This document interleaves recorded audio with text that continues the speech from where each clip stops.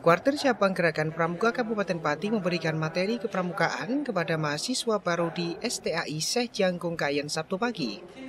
Kegiatan ini merupakan rangkaian kegiatan pengenalan dunia kampus untuk calon mahasiswa baru yang dilaksanakan 16 sampai dengan 17 September 2022. Pembina Pramuka STAI Syekh Jangkung Yusuf mengatakan, tujuan dari kegiatan ini yaitu agar mahasiswa baru tidak salah paradigma bahwa di kampus juga ada kepramukaan dan sistem pramukanya berbeda dengan ketika mereka di jenjang sekolah sebelumnya.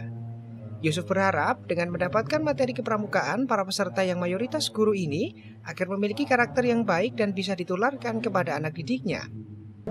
Harapannya dengan adanya pramuka di eh, STIS Jangkung ini karena kita kebanyakan guru jadi bisa membentuk karakter guru tersebut menjadi lebih baik dan juga kepada anak didiknya seperti itu.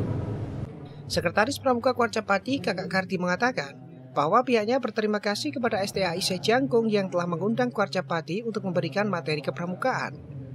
Uh, kita dari Warcap Pramuka Pati uh, mendapat undangan dari STAI Sejangkung untuk mengisi kegiatan paduka di uh, berkaitan dengan kepramukaan.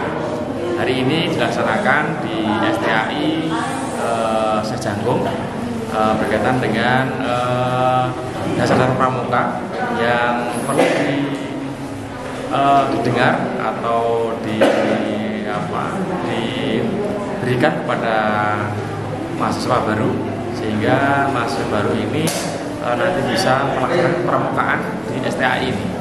Kakak Karti berharap kepada mahasiswa baru yang mengikuti kegiatan ini nantinya bisa melakukan kegiatan kepramukaan di kampusnya. Pihaknya juga berharap komunikasi antara STAI dan Kuarcapati bisa berjalan dengan baik dan bisa terus bersinergi. Tim Liputan Cahaya TV